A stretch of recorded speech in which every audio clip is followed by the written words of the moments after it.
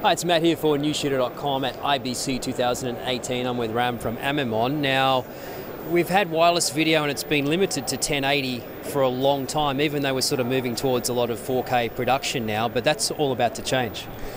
Yes, I'm uh, very happy and excited to uh, present our new um, solution, our new device.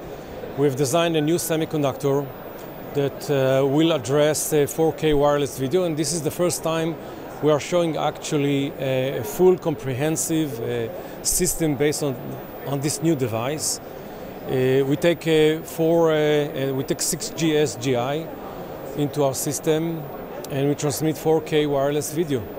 And this is going to have the same range and everything as traditional HD units eventually? Yes, actually, this is a, this is a new generation of our uh, semiconductor that is embedded in this system. And actually, uh, over uh, several uh, generation of uh, new product, we're going to have a lineup that will reproduce exactly what we have in our uh, full HD previous generation. The full lineup will be comprised of different products that will address different range, different function, different features, all of them capable of 4K resolution in the transmission system.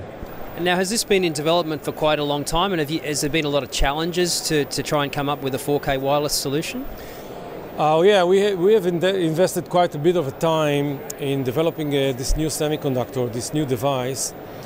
Uh, obviously, the 4K challenges is that you have to pump much more information and much more data uh, in the same uh, wireless link, preserving the zero latency that we have done in our uh, full HD successful product line uh, by turning uh, and tuning the algorithms, by changing the interfaces, uh, by designing this complete new semiconductor, we managed to actually achieve the goal of an excellent picture quality, providing a full full 4K native resolution uh, flowing in the transmission line. And this is uh, really exciting, and uh, I think this is this is the next thing. And how long are we like? How long before we're likely to see this start appearing? Uh, you know, products. I mean, you guys have your chips are in basically everybody's systems. So how long is it going to be? Do you think before we see this incorporated into um, wireless systems from companies, say like Teradek, Small HD, ARRI?